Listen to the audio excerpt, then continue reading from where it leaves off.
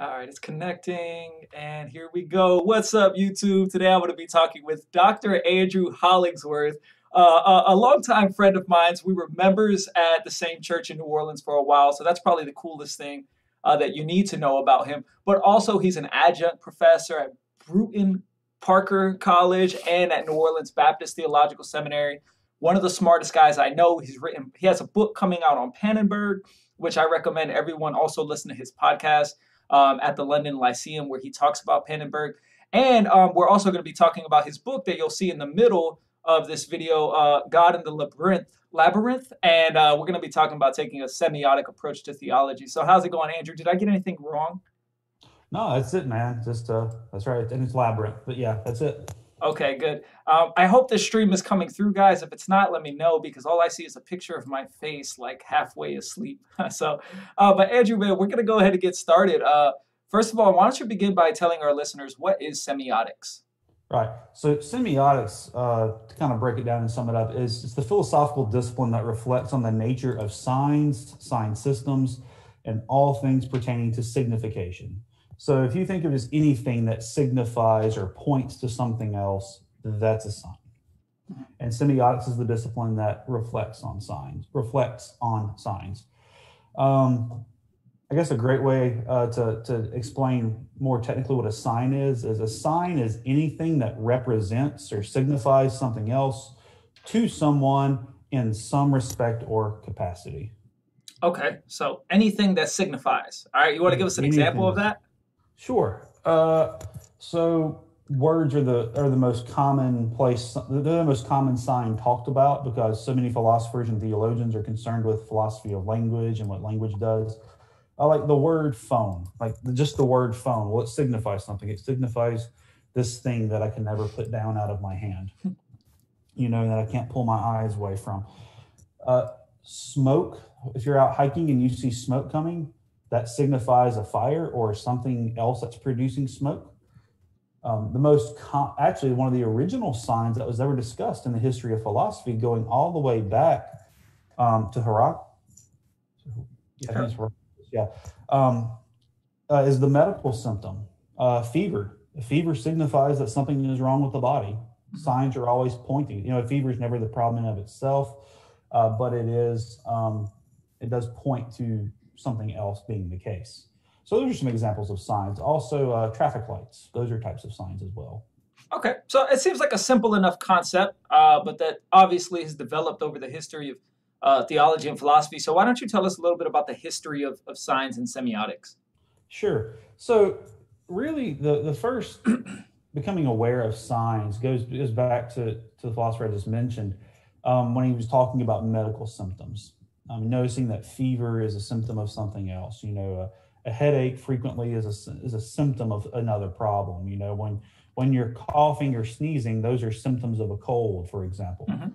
Uh, so that was the kind of idea. Signs were understood to be things out in nature and in the world that pointed or uh, that pointed to other things.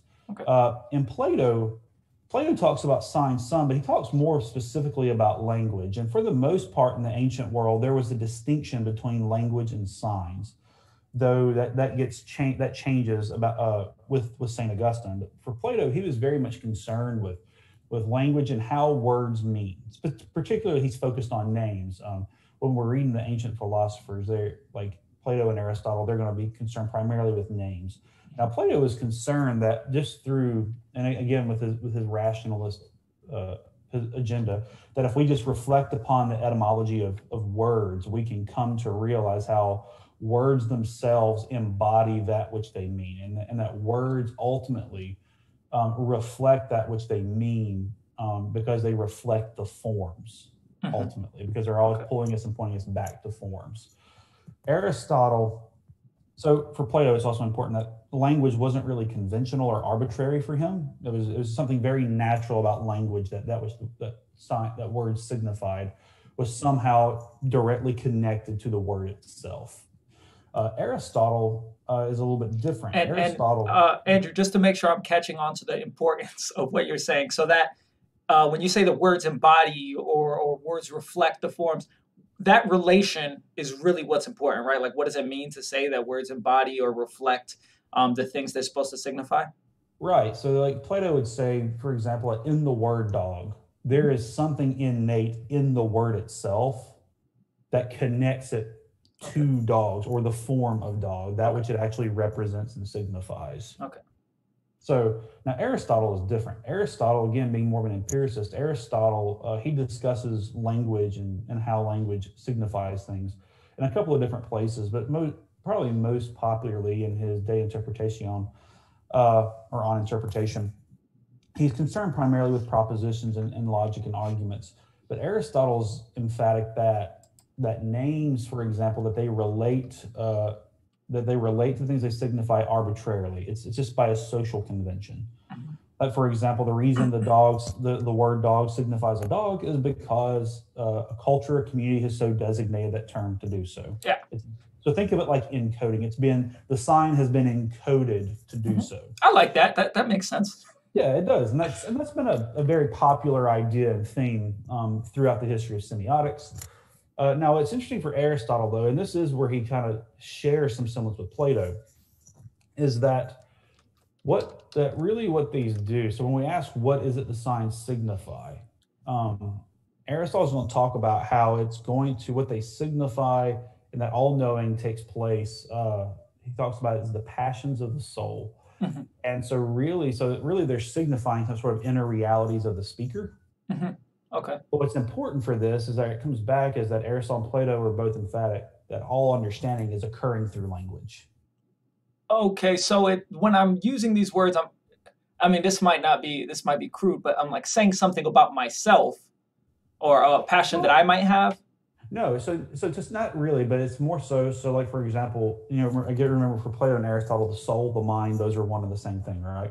Okay. So, like you know, I'm look when I look at my phone, when I just glance at my phone, how does my mind make sense of that? Okay. Well, the word phone. Okay. That's how it registers in my mind. Okay. So signs are always they they're always embodying, they're always representing passions in the soul. So so about passions in the soul, he's talking about understanding, he's talking okay. about memories, thoughts, ideas. Okay. That's what he's talking about. It's okay. not something about me. Okay. But the, the the point that and the emphasis that Aristotle makes is that all human understanding is mediated through language, through words. Okay. Yeah. Uh, and, this, and that's kind of a an axiom now in semiotics and in most philosophy of language. When you look around the world, you're like, oh, it's sunny outside. Well, it's our it's our language, our sign system that allows us to mm-hmm. understand.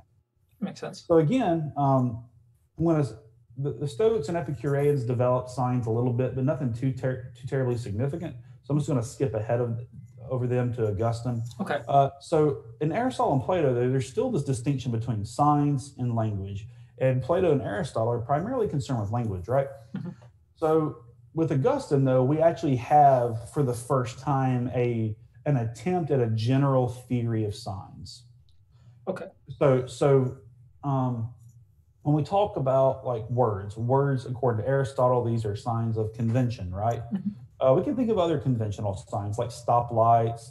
Um, when we're heading, when when when we part ways and we say peace or whatever. Yeah. Like that's a sign. When we wave, that's a conventional sign that we've adopted from our cultures and, and so forth. But there's also other signs in the world, such as, you know, when smoke signifies a fire or the fever signifies a medical symptom. There doesn't seem to be any sort of cultural convention to that. Uh, we see this in the uh, in the lower animals as well, in the animal kingdom. For example, if a deer is out feeding and it picks up a scent of a predator, that scent represents or signifies a predator. No one has to tell that deer to run. It just instinctively knows what to do. Yeah. Um, same thing if, if there's a forest fire and animals pick up the scent of smoke, they know to flee to safety. Uh, so there are natural signs that, in the way that they signify um, their objects, it isn't really hinged on a on any sort of cultural convention. But again, for Aristotle and Plato, these are two different things. Mm-hmm. Things in nature, those are signs. Language is its own thing. But then Augustine comes along, and Augustine says, actually, no, they're both of these are signs. They're just signs in different ways. Mm-hmm. So he actually comes and provides our first attempt at a general theory of signs, where he says that essentially that a sign is uh, is anything that points an individual to something else. And I'm, I'm kind of blanking a little bit on the rest of his definition, um, which is sad because it's actually kind of important because his definition actually gets critiqued by Thomas and later medievals for being too narrow. Wait, wait. So, so you're instead of broadening out what science means, Augustine is narrowing. So he's broadening it from what Aristotle and Plato have said. Okay. But it's still not going to be broad enough, uh, as Thomas and later medievals will talk about it. So Augustine takes up the interest of signs for two reasons, and he discusses signs in a couple of different works, but two primarily. An early dialogue he wrote called On the Teacher, where he writes a dialogue between he and his son uh, about how we come to know things, and he talks about the importance of signs for how we know things. Mhm. And then later in his more popular work on Christian doctrine.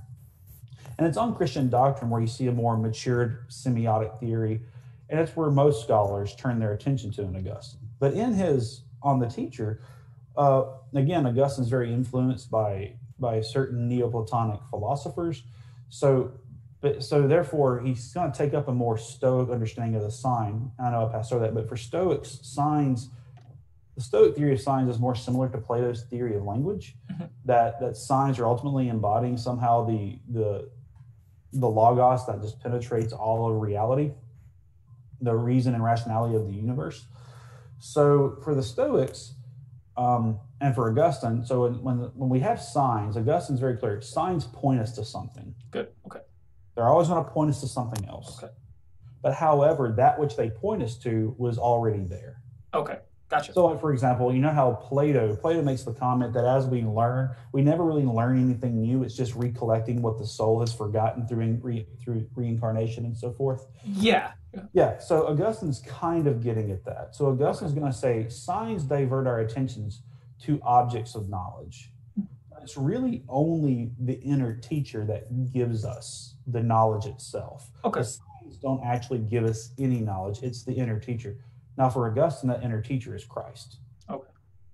Okay. So because because we are made in the image of God, because we we are rational animals, and because we do embody a form of logos, logos, and which the Son is the logos, because we embody that, it's through that that Christ is actually for all people, even those who don't know Him, Mhm. is actually giving knowledge to people of the world. Okay. So Now, now, signs are a medium to make that happen. But Augustine also, and on the teacher, he's also explicit. We learn, we ultimately learn nothing from signs, only from the teacher. Okay, so he's kind of like at this midway point where he thinks signs are conventional in the sense that they point, uh, but at the same time they're expressing something that is actually out there, and there's also something going on in here. I guess you know. Yeah, We're so, learning. so he's, he's at he's at that point with with with the conventional stuff, but he's also clear that, for example, um, while sign while smoke may point us to a fire, it's the teacher Hmm. that brings our awareness to that and teaches us that smoke points to a fire. Okay. All right. I, I think I'm I'm smelling what you're stepping in right now, Andrew. So let's move on to the uh, modern Yeah. fathers.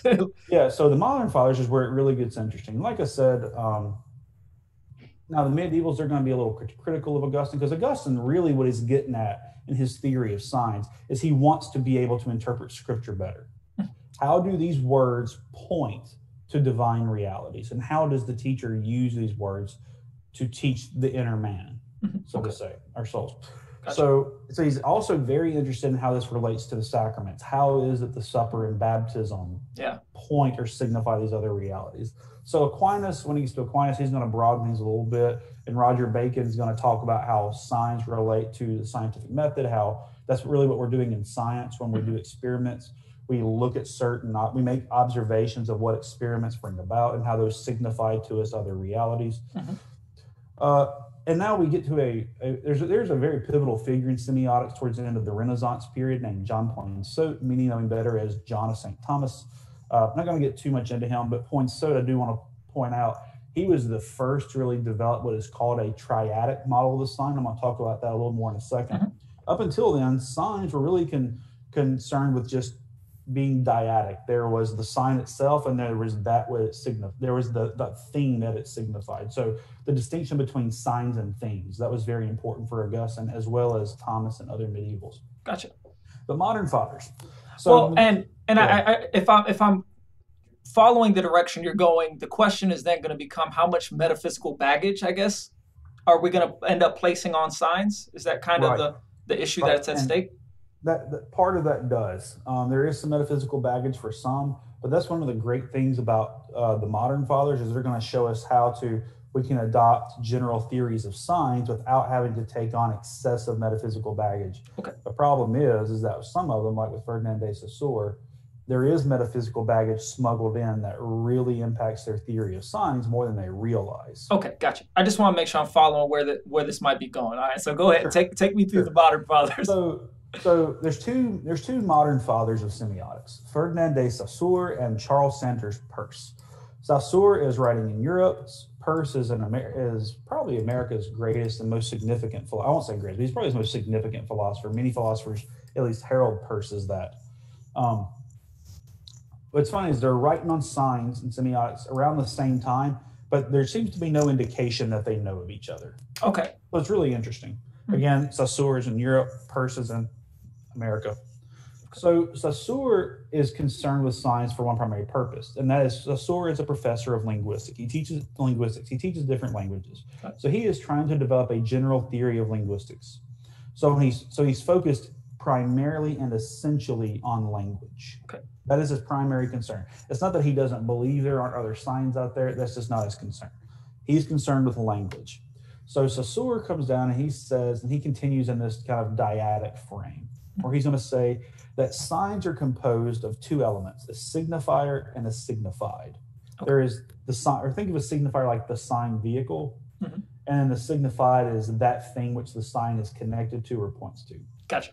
These now the signifier and the signified, they're, they're two sides of the same coin. A signifier without a signified is not a sign, and a signified without a signifier is not a sign. Okay. You have to have both for there to be a sign. So like, let's imagine a shape, right? Like with a thousand sides, right? Whatever that shape would be called. You know, that's just a sign, but it doesn't have anything to signify in reality. Well, so think of it like let's go back to words since the story is concerned with language. Mhm.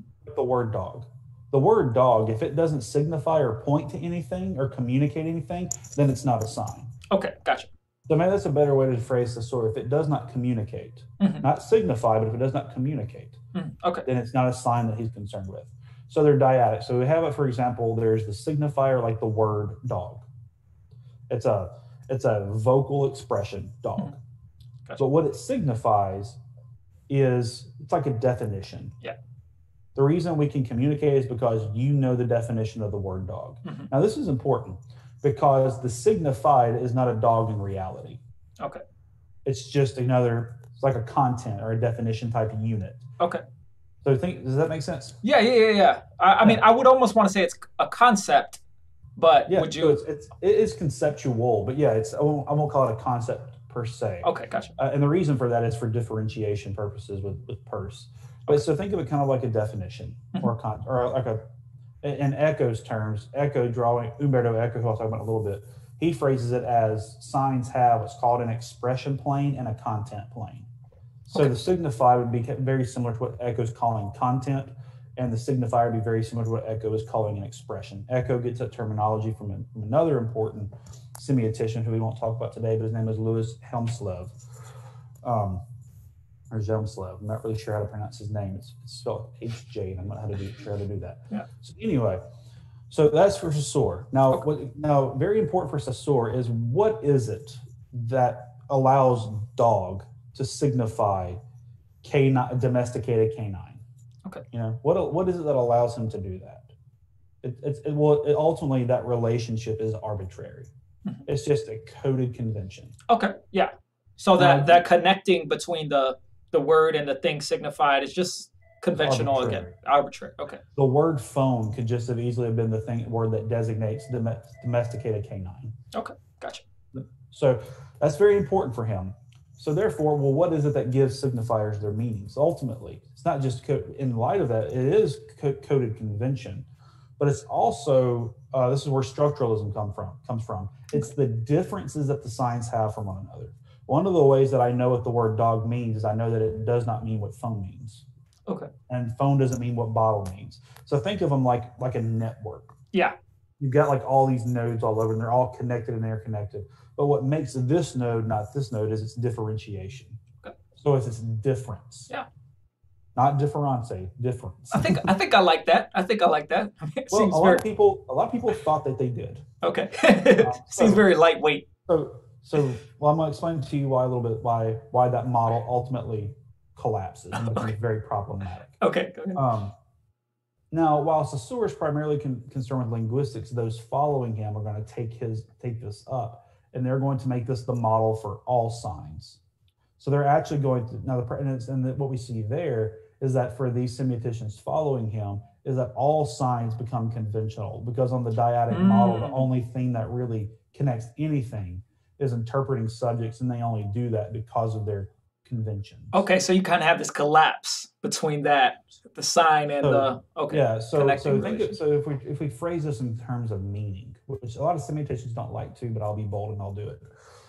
Um, think of it, I mean, what makes what determines the meaning of a sign is how it relates and differs for, to all the other signs within the sign system. Okay, does that make sense? Yeah, yeah. Okay, so Charles Sanders Peirce, the who has become one of my favorite philosophers to, to study and very fascinating, very difficult philosopher to read to. Peirce is also thinking about signs. Peirce, first and foremost, is a logician. He is reading and studying and memorizing logic textbooks at the ages 11 and 12. Oh wow. Peirce was an outstanding polymath and he was a pro, an intellectual prodigy as a kid. But his father was also a very brilliant man, philosopher and physicist, uh, Benjamin Peirce. And um, so Peirce is, is a logician. He is concerned with the, the, the, the logic of relations and he is concerned specifically on how logic works. So Peirce develops his theory of signs in light of that and in light of how it is that logic tells us things about the world Okay, gotcha. or how it preserves our beliefs about the world. Now, Peirce, whereas Saussure developed a dyadic. Now, Peirce is not simply just concerned with language. He is concerned with language, but he's but he realizes language isn't the only type of signifying thing out there. So Peirce develops a triadic model of the sign. He tries to think, how can I offer a model or a theory of the sign that will actually be help me to unify things like medical symptoms and, and smoke, Mhm. as well as languages, traffic signals. I mean, traffic signal is another great example of a, of a conventional sign because if it wasn't for a society or a culture that's deciding the red light means stop, that that would just be a red light. Mhm. So the Peirce is trying to think of an all unifying theory, a grand unifying theory for signs. Mhm. He Okay. thinks that he does this, and I think he's right by developing a new model of the sign. Whereas Saussure says there's only a signifier and a signified. Peirce is going to say that signs are composed of three elements, like triangles. Mhm. Okay. And he calls these different elements that they're composed of representamen, which Peirce is he is nefarious for just inventing his own terminology. it's very annoying when you're reading him because he doesn't forewarn you that he he doesn't always forewarn you that he's creating a new word. He just does it. okay. Um, the representamen, uh, which would be what Saussure would call a signifier, or what we might today call a sign vehicle. Mhm. The object that the representamen or the sign vehicle signifies, and then the interpretant. Again, the representamen is a lot like the sign vehicle. So let's think of it in terms of language. Okay. The word phone, just the, the verbal word, the spoken word, or the written word, whichever. That is the that is the representamen. It represents. Mhm. And that's kind of the linchpin for, for Peirce's theory of signs is representation. Okay. Signs represent something else to someone Signs To represent something else to someone. in some respect or capacity. You know, that's very similar to the definition that I offered. So um, the object, it is simply that. It's like the word phone. This is this this is the what, what that word represents. Mhm. An object in reality. Mhm. Now it's an, that's an important distinction from Saussure already, because again, the signified for Saussure is not an object in reality. Mhm. It's just a definition. It's just a content. It's another sign. Now, Peirce says that there is something, however, that uh, that mediates the word phone to this phone. Okay. Something, for example, that when I say the word phone, you know that I'm talking about this thing in my hand. Gotcha. And that's what Peirce calls the interpretant. And the interpretant, while it's not the exact same thing as Saussure signified, it's very similar to it. Now, the interpretant is like another. It's like another sign. He calls it another sign, an expanded sign. Like when I say phone, you know the definition of what the word phone is, and that allows you to connect Mhm. the word phone to what I'm holding in my hand. Okay. So I'm the interpretant. Well, so you're not. You're the interpreter. I'm the The, interpreter. inter- the interpretant is that which is in the quasi mind of the interpreter that allows interpretation to happen. Okay. So think of it like this. Um, let's go back to the to the to the analogy of codes. Um, if I so now this is this this looks more like a dyadic approach, but it, I think it can be extrapolated for triadic approaches as well. Um, our our culture and our English speaking culture, we encode the word phone, right? to to represent this. Like uh, it, that is partially convention. Mhm. Um, that code, that cultural code that we had done that. Mhm. Well, you know that code too, right? Yeah. So that code is really what's the interpretant, Okay, the code itself. So it's not the process of encoding; it's the code. right? Encoding is so encoding happens at a cultural level, depending on the semioticians you talk to. Um, that's for conventional signs. There is no encoding for for not for for natural signs. But now this is important because Peirce's theory, again, signs are always representing to someone. If there's not an interpreter, then there's not always a, there's then there's not signification. Gotcha. Now, now this is important. I, I, I, want to make sure that I'm catching the, the importance of this, right? So, um, I, I want to say this is in John Searle. Let, let's say like there was a, a clump of rocks that fell down a hill, and you know the rocks just happened to fall into a place that they said God exists, right? Well, that would mean something to me, right? But let's say we were in Mexico and no one around actually spoke English, that would just be a clump of rocks that fell down Right. from a cliff. Right. So if I if I you know for example if I uh, um trying to think uh trying to think of a good example um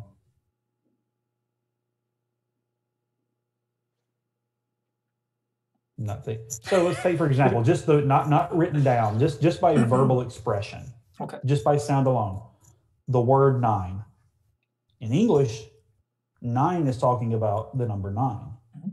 But if i go out to, if i go over to germany and i yell out nine people are going to wonder why am i telling them no about because nine in german is no Mhm.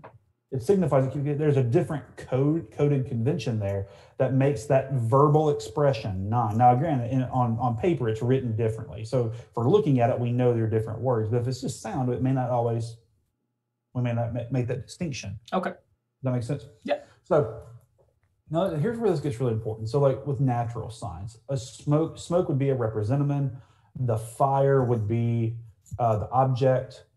But let's say an animal picked up the scent of that smoke. Mhm.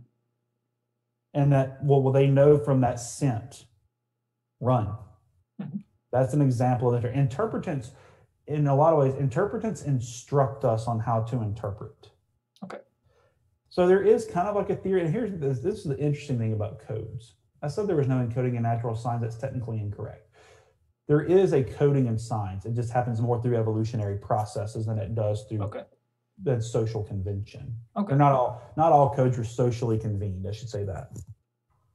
So, like for example, you know, through through the through the development through evolution and stuff, animals know when they smell smoke, they need to run. That's a danger to their life, right? Well, that's that's still a type of interpretant. They interpret us on how to and react. So, for example, um, to give another, if I make the if I express the the proposition, um, it's a beautiful day outside. Mhm. Well, the object of that is going to be the beautiful day outside, as I so understand it. But the interpretant would be, for example, the other sign that appears in my mind that says, I should go outside and enjoy it. Okay. Or it's it's the it's all the contents involved that allow me to make sense and interpret that. Okay. Now, now the now the triadic nature of this, what this does is this allows us to make sense of more types of signs. Now, Peirce he gets very um he gets he gets very detailed. Uh, he actually develops a whole taxonomy of signs. We can talk about that in a little bit. Uh, but those are the two modern uh, modern fathers of semiotics, and we've talked a lot about that already. Um, um, but those are the two major guys. So now we today we typically have two. Generally speaking, there are some deviations, but generally speaking, there are two major schools of semiotics. Those affirming a dyadic model of the sign, following in the path of Saussure, Okay. and those who continue to affirm the triadic models and theory following in the line of Peirce. Okay. And it's interesting because each school is concerned with very different things in semiotics. Those following Saussure are still very much concerned with language. Actually, structuralism, you've heard of structuralism, Yep. that comes out as a result of Saussure's theory of the sign. Mhm. Um, Post structuralism ultimately comes from that. Uh, important semioticians in the line of Saussure include Louis Hemslev, uh, Algirdas Greimas, um, more more uh, popular Jacques Derrida, Okay. Umberto Eco. Well, I say Eco. Eco is kind of a hybrid between Saussure and Peirce, although his model of the sign is going to represent Saussure's more than Peirce's. Uh, coming more out of the Peircean school, you have this uh, behavioral psychologist and philosopher, Charles M. Morris, Charles W. Morris. It's a W or am, I'm confusing which one's what, but Charles Morris. Okay. Um, we have uh, Ogden and Richards are, are, tr- are affirmed triadic models of the sign. And probably the most popular today uh, would have been John De- the late John Deely, who died back in 2017. Okay. So you have these two major schools today are the dyadic model, Mhm. which is all there is is the sign and the thing signified. Or the, the signified, yeah, but this, but it's important to emphasize the thing signified is not an object in reality. Okay, gotcha, gotcha. It's it's a lot like what Peirce's interpretant is. Okay, gotcha. And then you have the triadic models coming out of Peirce, and that you you have to summarize that for me. What is the triadic model Yeah. So uh, representamen, represent? object, uh, and interpretant. Uh, it might be might be better. I prefer to talk about them and Deely did too. Most semioticians today would call them sign vehicle, object, and interpretant. Okay. So the thing that does the pointing, the thing being pointed at, and, And, then the thing that mediates the pointer and the pointed. okay, okay, gotcha. All right. Mediating relation. Okay. So can we can we move on to question three, or is there anything you else want to cover, maybe in that section? Uh, yeah. So one of the so I want I do want to talk a little bit about Peirce's tri uh, or uh, taxonomy of signs, just because it's actually really important. that was something that that Saussure never attempted to do is come up with a taxonomy of signs. Peirce does, and they all have a lot of weird names, uh, but these are important because all and these aren't taxonomy of signs. These are all taxonomies of the of the way the different the way the three components of a sign all work together for a sign to be a sign in the way that it is a sign. Okay. So uh, when we so again we have representamen, object, and interpreter. Sign vehicle, object, interpreter. Sign vehicles are representamen.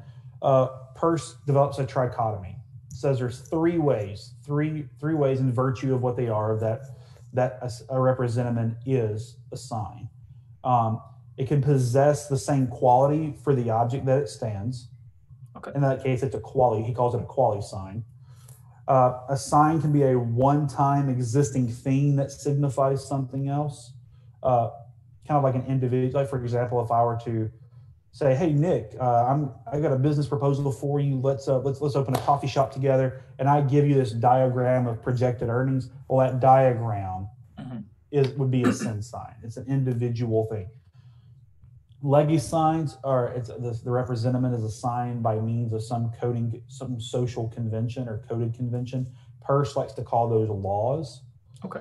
Um, and then there's this. That's the first trichotomy. The second trichotomy. The first trichotomy is concerned with how, uh, by means of what a representative is assigned. The second trichotomy is concerned with how representative relate to their objects. Okay. Uh, so he has three of these, and these are the most popular trichotomy he develops called icon, index, and symbol. An icon stands for its object by some way of similarity, be it visual, verbal, auditory.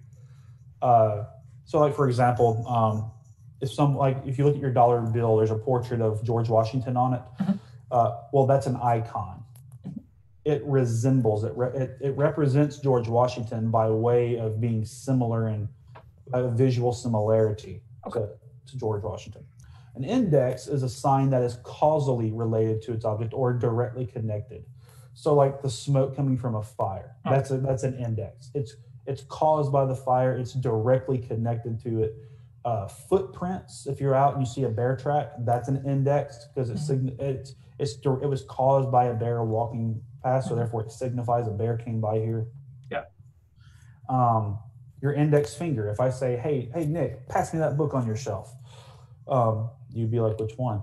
But the point, though, is is that my finger, by pointing, this is directly connecting Mhm. to the book that I would want. Okay. All forms of indexes are like, or, that side. That's index is particularly interesting to me in my studies of semiotics because Peirce makes this claim, and I, and I think he's right on this, that indexes are the only mode are the only type of sign object relation that can serve as an evidence for the object's existence. Okay. They don't always, but they can. Just for example, if I if I just draw a pic, a portrait of someone, well, because, if it's not caused by that person, that doesn't mean that person exists. It could just be a cartoon character. You Mhm. know, the person who drew Scooby Doo. Scooby Doo is an icon of sorts, but it's it doesn't. It's not an evidence that Scooby Doo exists. Yeah. Symbols, on the other hand, are like words. These symbols uh, are when a representative relates to its object by way of, of, of a cultural convention. Okay. So again, like words are the go-to example for this. Uh, and then we have this, uh, the third trichotomy is the way in which interpretants, um, the types of interpretants, the types of that, uh, the way representative and interpretants relate with one another. Okay. So we have three types of those. The first he calls a rheme, uh, which it stands for its object and term-like capacity. Now, all now for all this second tri, this last trichotomy, it's important that. Uh, by the way, you'll well, I'll explain this in a second. I guess I'm sorry, I'm getting ahead of myself. Rhemes they stand for their objects in term-like way, so like a common noun, Mhm. like dog, Yep. person, table. Those are all rhemes. Uh, then he another one he calls dicisigns or dicents.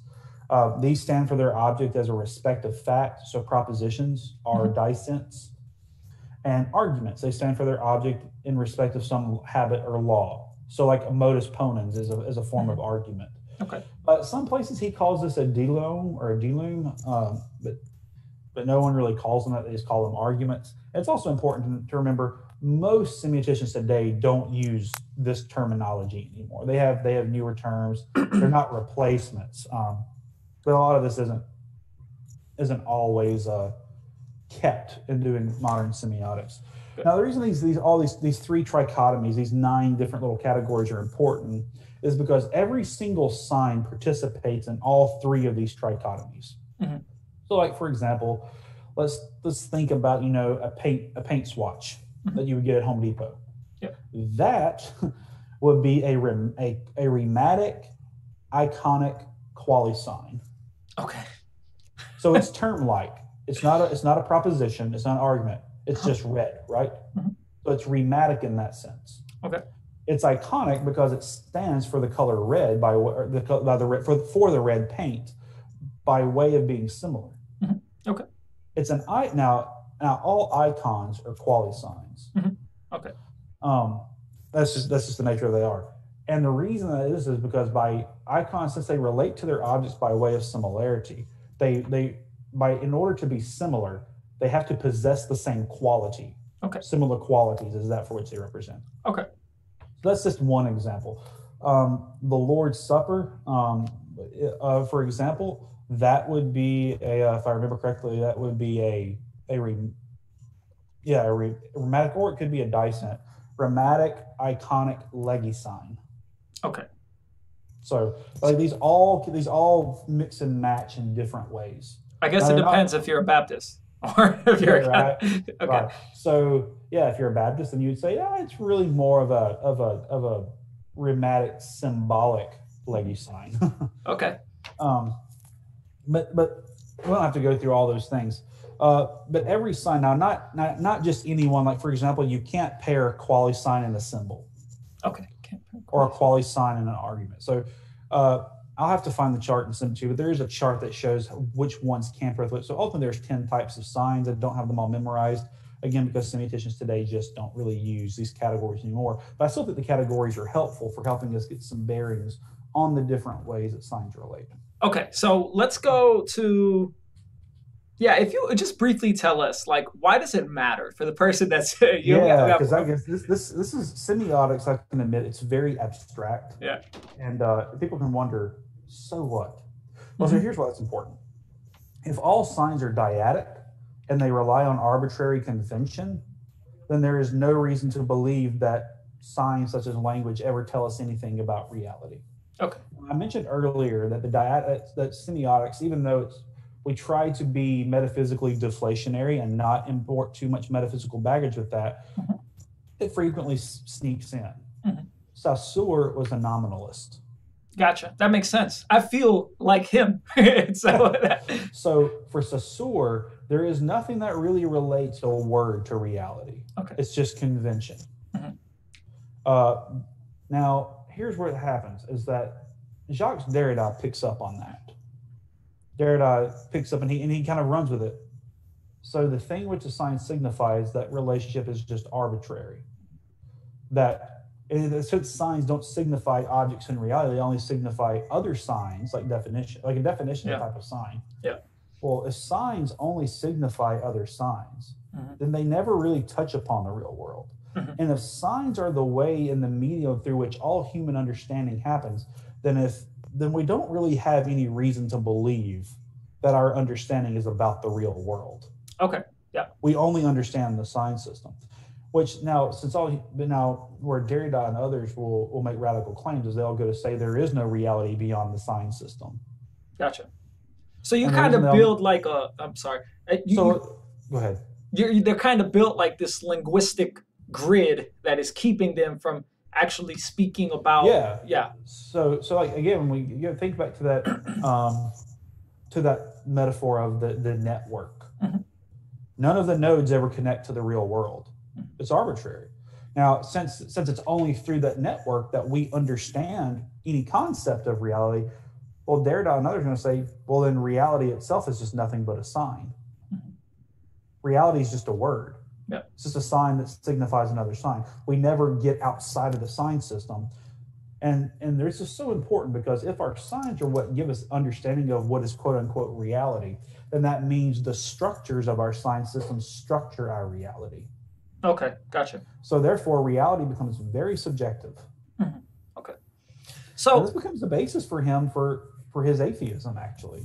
wow. Okay. Well, So because because again, God Yeah. the, the, God is just a sign that points to other signs. There's because it doesn't touch upon reality, it's ultimately arbitrary. Yeah. Um, now there have been some in the dyadic approach, like Eco. Eco is not a theist, but they've tried to rehabilitate to, to maintain a, a grasp on the dyadic model and rehabilitate some realist concerns that no no signs do help us with reality.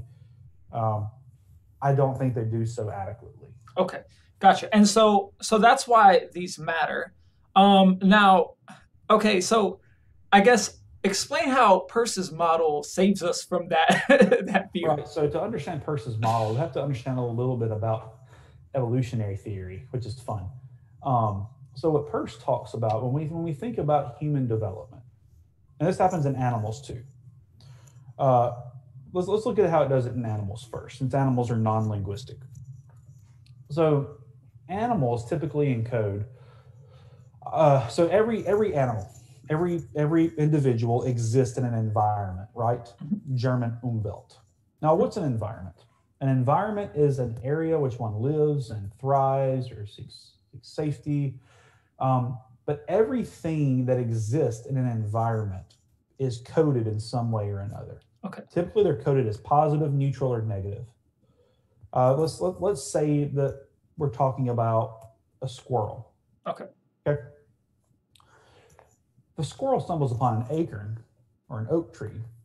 That has positive value. The oak tree can provide shelter. The acorns provide food. There's something to be desired. Okay. Now, here's the thing, though. That acorn has now become a sign. It's not just a thing in itself, because it signifies survival for Mhm. that species. It may not do so on a con. Here's the thing: semiotics or semiosis, the process of of signs and interpretants and, and objects all relating. Mhm. These don't have to be consciously be happening. Yeah. Um, Hmm. uh, just for just for example, for for example, when I when I when I get the the rhinovirus for the, for the cold, I don't have to consciously tell my body to to deploy antibodies to go deal with this problem. My body does it. My body interprets. Mhm. There is an invader. We need to attack it. Yeah. And it Okay. sends antibodies. So so this happens even at molecular levels. Semiosis does. And Okay. This is what this is what's really fascinating about about the Peircean model. So when, when we go back to the animal, though, you know, but now say a squirrel comes upon a rock in its environment. Well, the rock's just neutral; it's there. Doesn't pose a threat. It doesn't pose any benefit. But then the squirrel also in its environment are owls. Now, owls. Well, that's not owls. Let's say let's say hawks. Yeah. a hawk. Well, now hawks are negative. There's something that that that would prohibit my survival. Okay. I need to avoid those. So the hawk has now become a sign for something negative, the Okay. antithesis to survival. Mhm. So so semiosis is happening. Semiosis is just the word again to designate uh, the way that things signify to interpreters and the way interpreters make sense of signs and so forth. Okay. Now, so let's think about this for for the human animal. Going all the way back when you know we've got human animals, they don't Okay. have language yet. Let's say they don't have language yet. They they encounter fire for the first time. There's no word for fire, but they want to communicate. They want to share this thing. Mhm. So the fire it, it can cook food. It provides warmth. Well, now the fire for this human animal has become a sign. Okay. Sign for it's good for survival. Yeah. Well, so the, the this uh, this humanoid or this sorry this uh, not humanoid this this human animal um well now it has this mental image the memory of fire Okay. but there is no language so how does the human animal communicate it to another human animal Okay. he's going to point to it Yeah. well now he has this object it's become an object for warmth it's a represent it's a it's an icon in his mind because of the similarity he has the memory Yeah. and when he thinks of that he thinks of the positive things something to be desired it's a sign it's already signifying something as an icon in his mind or her mind now they need to share it so they point to it Okay. well now indexes have entered the picture Okay. So they go and they get another human animals That's how they did it. And they, well, no, they, they they do that, and then they start to say things like, they might make other hand gestures like, "Oh, it's warm," you know, like they begin to communicate. Well, then what happens? Uh, finally, they there there are. Let's say that there is some language already. Let's just go ahead and say that there is some language that they share.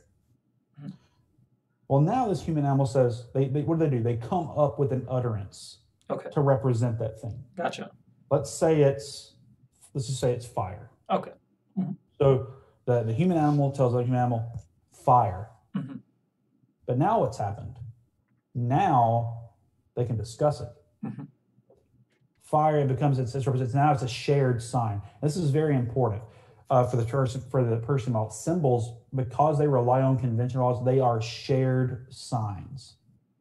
Mhm. But now here we have a very indirect way that the word fire actually touches upon reality Okay. because the symbol, well, what's it representing? When we say fire, what does that represent? It's representing what I'm pointing to. Mhm. What I'm pointing to is representing what's already in my mind. Yeah. This is for warmth. Mhm. And what is that representing?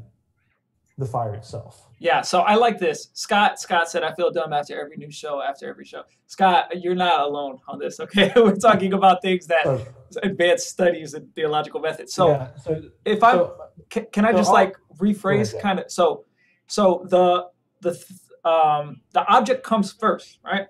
And then Right. there's the interaction between the object and the interpretant that gives rise to these different uh referendum. And so in in a sense, objects can take on significance as they have this this con- connection takes place.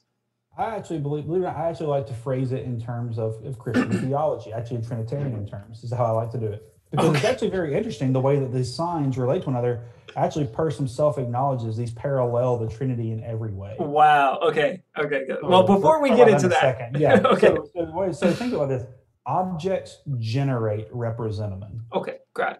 So, like when, for example, when I look at a bottle, the word bottle is immediately pops. Like I don't have to think about it, or the image of bottle, or what it, or it pops in my head, what it Mhm. represents. Yeah.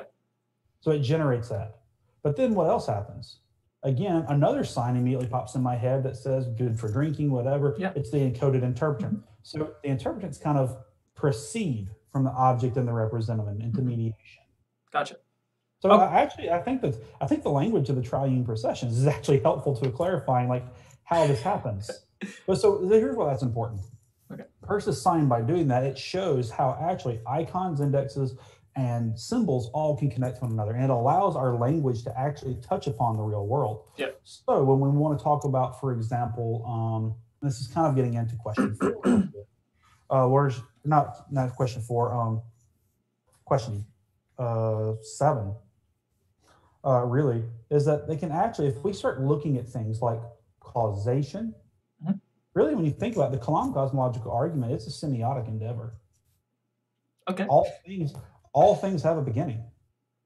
The universe has a beginning. Effects have causes. This is pointing to a because Mhm. Effects signify causes. Okay. It's the fact that when we look for things like evidence, evidences are signs. Mhm.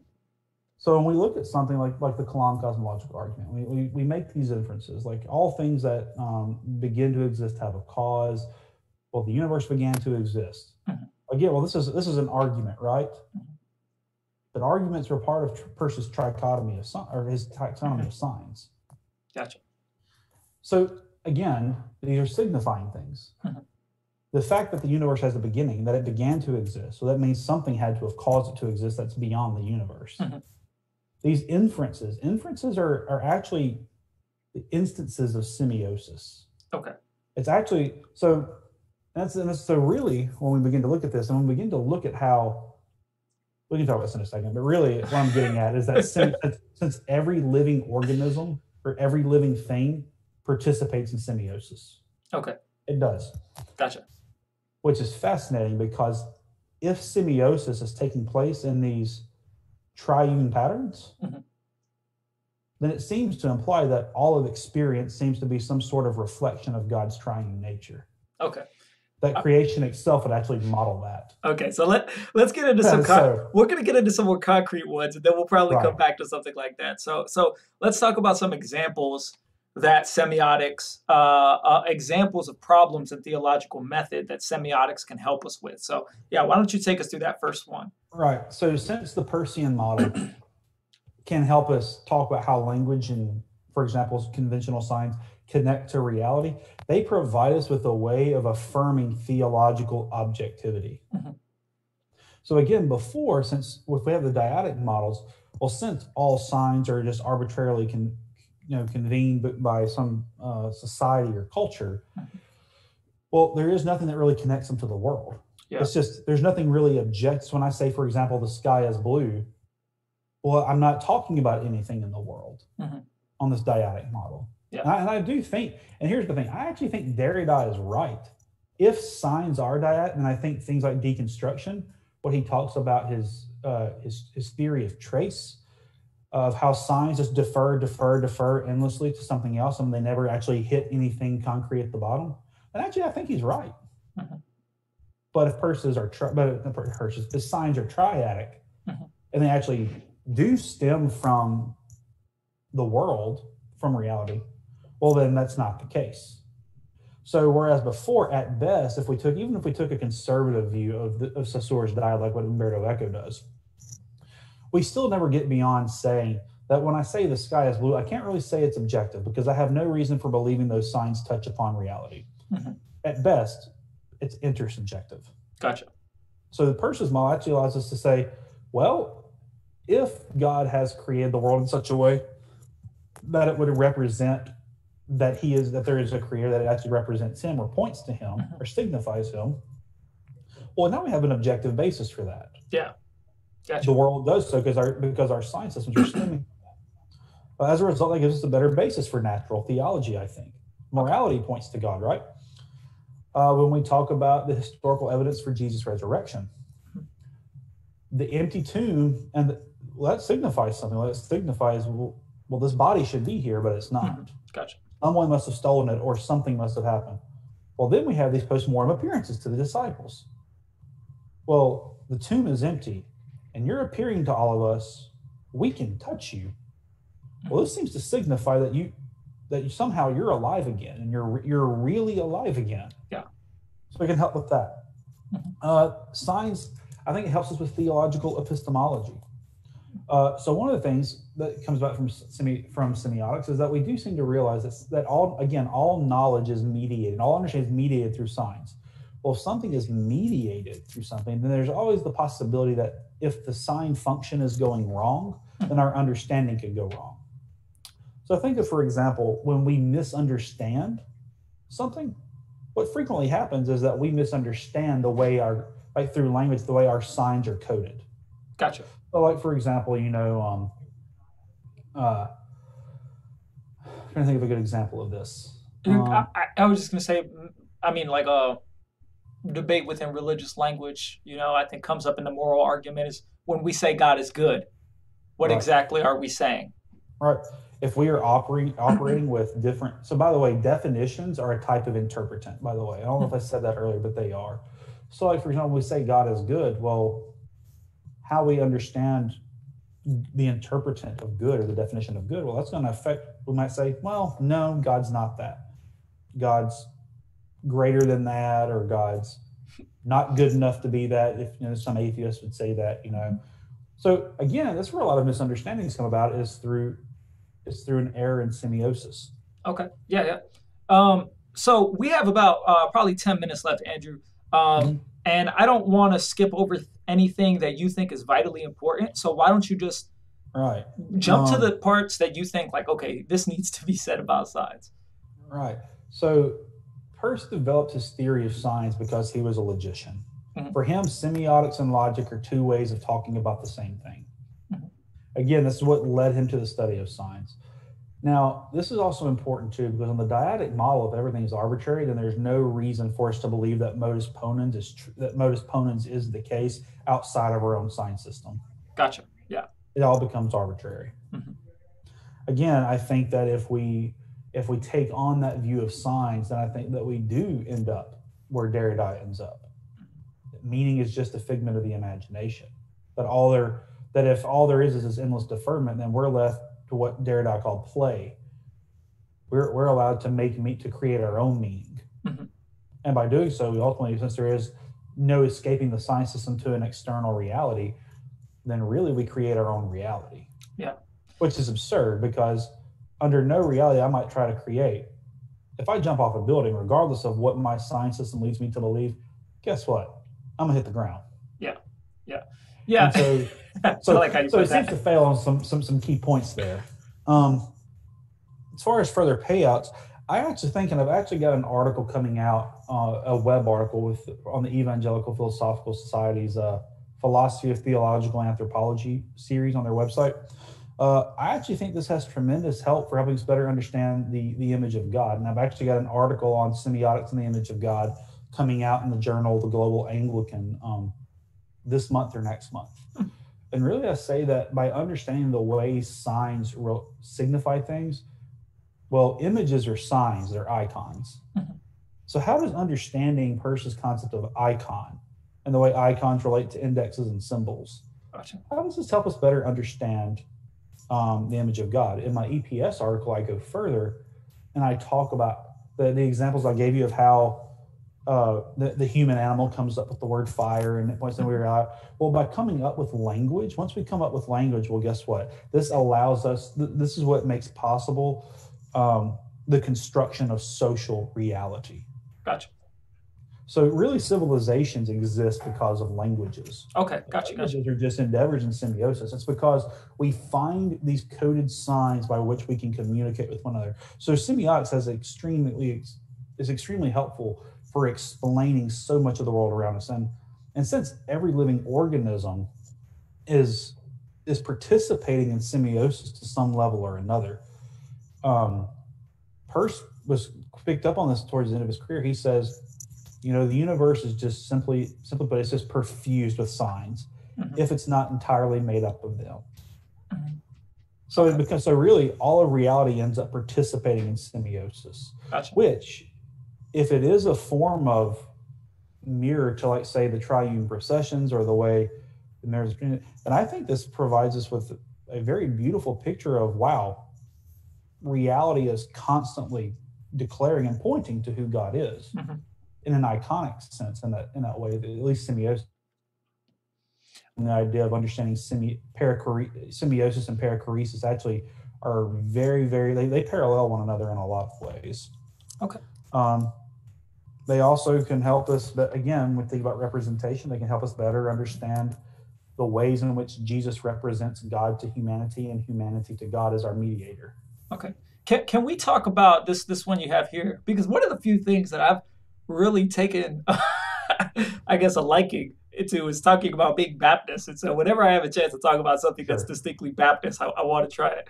Uh, I, so I want to identify that way as much as possible. Help us. How does it help us better understand baptism at the Lord's Supper? Yeah, so I've actually got an article that kind of touches upon this in a little ways, where I use uh, some of Peirce's taxonomy of signs to help uh, provide a better approach. So Wolfhart Pannenberg actually takes a somewhat semiotic approach mm-hmm. to the Lord's Supper and baptism in his systematic, following through his systematic theology. That Pannenberg is operating out of a dyadic model of the sign, though Pannenberg is a realist and that he thinks that the languages do point to actual realities. Um, I don't, his model of the sign actually isn't fit to do that. So I offer the Peircean model, some per, insights from Peirce's taxonomies to try and help with that. So when we think about the Lord's Supper, what does the Lord's Supper do? It's supposed to cause us to remember something, right? Mm-hmm. Memory. It's a representation of something. Mm-hmm. Actually, the Lord's Supper is a representation of two things, right? It's a representation of the supper Jesus had with his disciples, but it's also a representation of the future supper that we're going to have with the Lamb in the eschaton. Okay. The, the future, uh, so to say, where uh, like you know the parable where it talks about how you know in in his last days that he will welcome us all in, we'll all be welcome to his table. Mm-hmm. Kind of that eschatological um, moment. Okay. Supper for lack of a better. So the supper points, it signifies those two things, but, but, but how does it do so? Well, at a very basic level, we can say, well, it's definitely iconic, right? Mm-hmm. It's a, re- it's a, it's, there's a similarity of it. Mm-hmm. And this is where it gets very interesting. In what ways is it iconic? And this is where Baptist and, and the different denominations are going to differ. Is that now, again, it's iconic, but if it's iconic, then it means it possesses the same qualities of the things that it represents.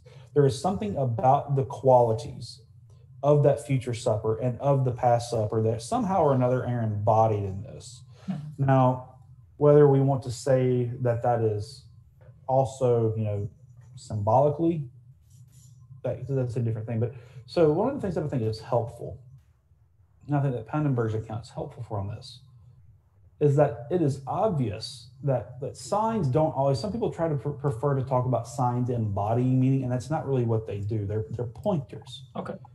So the supper is very distinct. So when we say that it signifies Christ's passion, you know, some say that his that Christ is present in the elements. I don't know if semiotics really helps us argue one way or another on that. But I think that it does help us to realize that by again, because the supper is signifying something else, a memory and a hope. Mm-hmm. And because we are embodying those things, mm-hmm. we are actually participating in those. Mm-hmm. We are participating in what the signs are signifying by again the signs don't embody them we're embodying it mm-hmm. so now whether we want to say that you know christ is actually present in the supper i don't think semiotics gets us that okay um, because again those discussions are over um, the discussions that like luther and the reformed tradition and, and zwingli were having those aren't really issues about you know, how are, how is the supper signifying or pointing, but they're talking about substance issues. Gotcha. And semiotics isn't that. It's not a metaphysical theory. Mm-hmm. But I think it does help us say that even if it is, let's just say it was only a symbol. Mm-hmm. Well, the symbol is not just a pure symbol because it is an icon, mm-hmm. which means that there is something deeper that it does represent what is by way of resemblance. Mm-hmm. And by doing that means it's possessing qualities of mm-hmm. that which it resembles. So so that we partake in those things, we are to some extent embodying those qualities. So there is an actual participation going on hmm. at the supper. And I think baptism is a similar thing. Mm-hmm. You know, baptism again it, it, signifies being buried with Christ and being raised in Him again.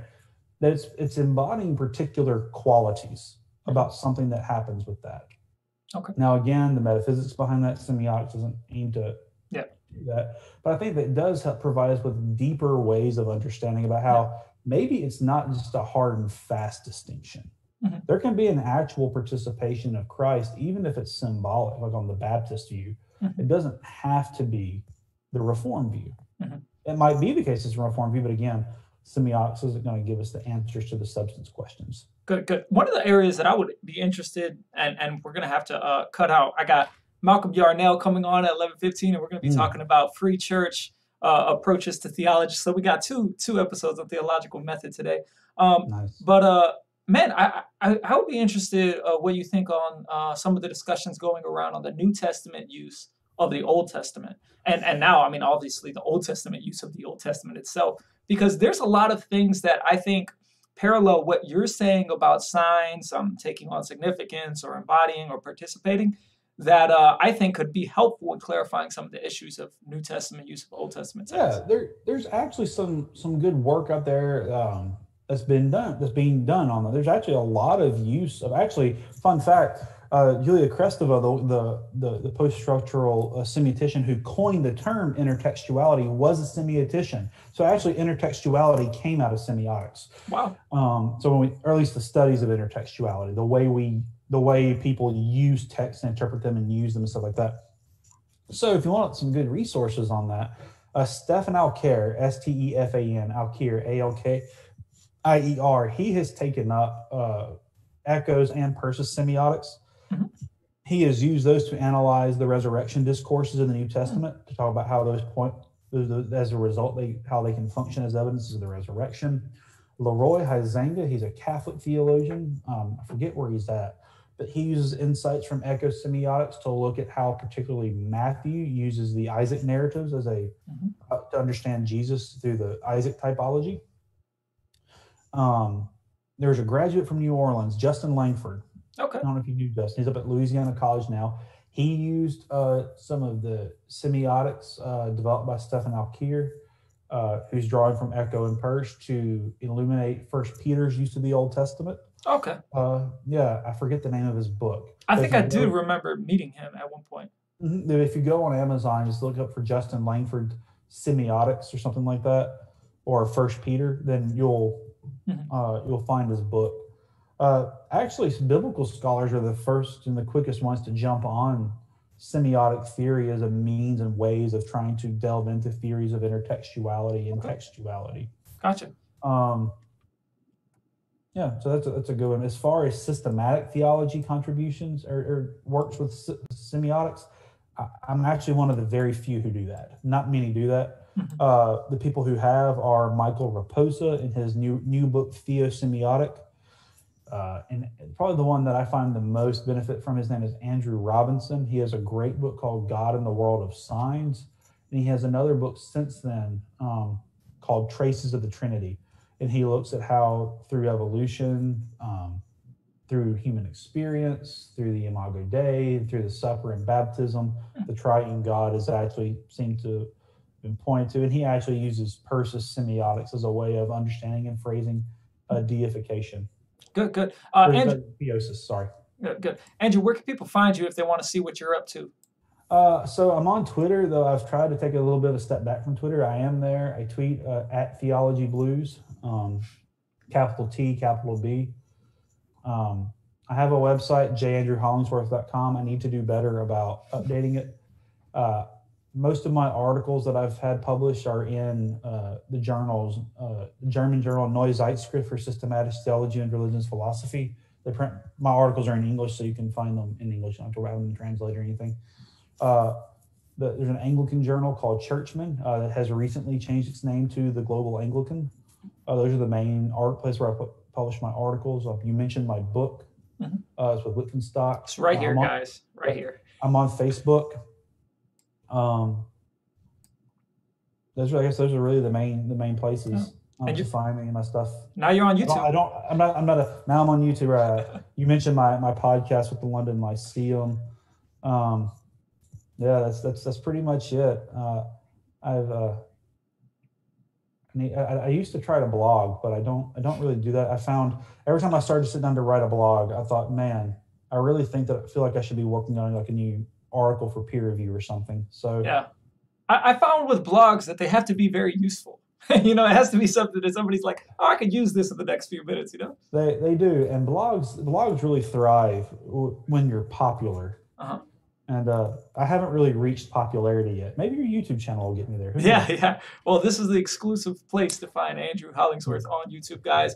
Don't. right. uh, I'm gonna do an outro for the YouTube channel. We'll still be on a Zoom, uh, guys. Don't forget to buy Andrew's book right here, God in the Labyrinth or Labyrinth, um, and also find him wherever you can find him. Don't forget to also subscribe to the channel, guys. We have 306 subscribers. So come on, give yourself a round of applause if you're already subscribed. Uh, share the content um, to any theology geeks and nerds that you know who think that this stuff is cool to talk about. And also, uh, don't forget to click any of the links in the description if you want to support me in furthering my education and also uh, in talking with people like Dr. Andrews Hollingsworth. You guys have a blessed day.